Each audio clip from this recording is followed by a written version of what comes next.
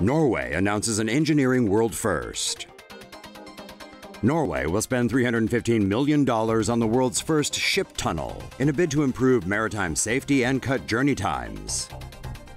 The 1,700 meter long tunnel will carve through the solid rock of the Stad Peninsula in western Norway, allowing ships weighing up to 16,000 tons to pass between two fjords. The tunnel will allow cargo vessels and passenger ships to navigate more safely through the Stadhavet Sea. The width between the tunnel walls is 36 meters. A traffic light system will be used to show when it's safe to pass. The team behind the tunnel expects that five ships per hour will be able to pass through it. Construction on the project will begin by 2019 at the earliest, with completion expected by 2023. Say no to safe spaces on YouTube. Support Tomo News at patreon.com slash Tomo News. Stay tuned for more amazing feats of engineering. The Norwegian government has earmarked 171 million US dollars to build a tunnel so large ships can sail through a peninsula. The project will carve a 1.7 kilometer long tunnel through Norway's Stad Peninsula, connecting two fjords. The 29 meter high tunnel will be 17 meters from sea level to ceiling, with the bottom 12 meters beneath the water and 36 meters wide. This will allow Norway's large coastal express passenger ships to cut days off their journey and avoid treacherous northwestern waters. Construction will not begin until 2018 and is expected to take about four years to complete. Norway plans submerged floating tunnels to make driving easier. The floating underwater tunnel you see here could be the solution to Norway's transportation challenges. Norway is known for its beautiful fjords, the deep inlets of ocean that form between its high cliffs.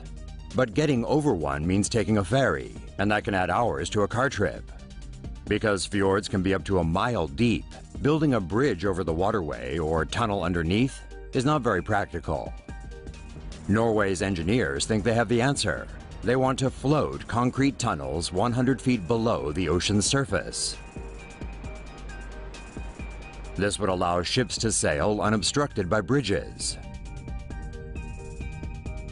That's because floating pontoons would hold the concrete tunnels in place. At the moment, engineers are crunching the numbers on the ambitious $25 billion project. If all goes to plan, the world could get its first floating underwater tunnel by the year 2035. China is planning to build the world's longest undersea tunnel by 2026.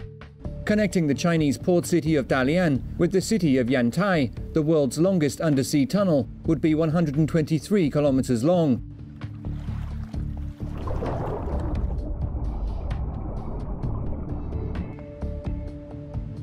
Making it more than twice as long as the current record holder in Japan, linking Honshu and Hokkaido Islands. The project, consisting of two tunnels, both of them 10 meters in diameter, would allow trains traveling at 220 kilometers per hour to make the journey between the two cities in 40 minutes, and travelers to avoid a 1,400 kilometer drive or an 8 hour ferry ride. It is estimated that the project will cost about 220 billion yen. Say no to safe spaces on YouTube.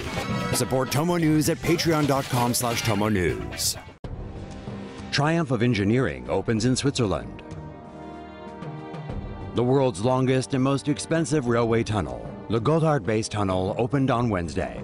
The Gotthard Base Tunnel originates in Erstfeld in Switzerland's Uri Canton and ends in Bodio in the canton of Tessin. The tunnel sits 2.3 kilometers under the Alps, making it the deepest railway tunnel in the world. The tunnel uses a system of two one-way tracks, linked by emergency escape routes. The tunnel's vault was covered with concrete and waterproof material, which allow water in the Alps to flow down inside the walls. The water is channeled out through pipes beneath the railway tracks. Trains travel on an almost entirely flat track and are able to reach maximum speeds of 250 kilometers per hour. The tunnel will cut the train journey time between Zurich and Milan by one hour to just about three hours. The tunnel will also be used for freight trains. About 260 freight trains will be able to use the tunnel per day, up from the 180 maximum on the current route. It is also hoped that the tunnel will reduce Alpine road traffic and consequently reduce CO2 emissions. The 57 kilometer tunnel is the world's longest, overtaking Japan's Seikan Tunnel and the Channel Tunnel between England and France. The Gotthard Base Tunnel took 17 years to complete. Regular service is expected to commence in December. Slated for completion in 2020, Denmark is set to begin work on an undersea road and rail tunnel across the Fehmarn Belt Strait to Germany. Nine identical reinforced concrete segments will be joined to form a single tunnel section. The tunnel consists of 89 such sections. Finished tunnel sections are moved to a dry dock, which is flooded with seawater. Tugboats are used to move the floating tunnel elements towards pre-dug seabed trenches.